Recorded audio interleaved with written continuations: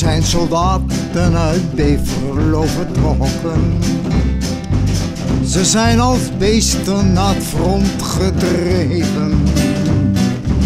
Ze zijn als beesten naar het front gedreven, naar het schaamteloos kerkhof van onze jeugd.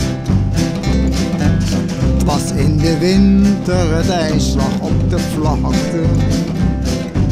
Zijn voeten zijn er totaal bevroren. Zijn voeten zijn er totaal bevroren. Hij werd naar een hospitaal vervoerd. Zijn beide voeten heeft men mij afgenomen. Twee houten krukken heeft hij gekregen. Twee houten krukken heeft hij gekregen. Hij werd naar het oude huis gestuurd.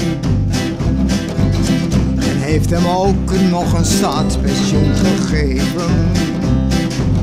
Van een patiënten te weinig om te leven. Zo werd hij naar de deelstaf gedreven om niet te creperen van hongersnood.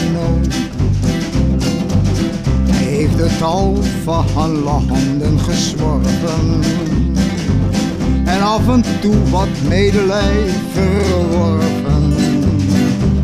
Maar de patroons voor wie geld hij heeft gevochten gaven hem geen cent toen hij erom vroeg.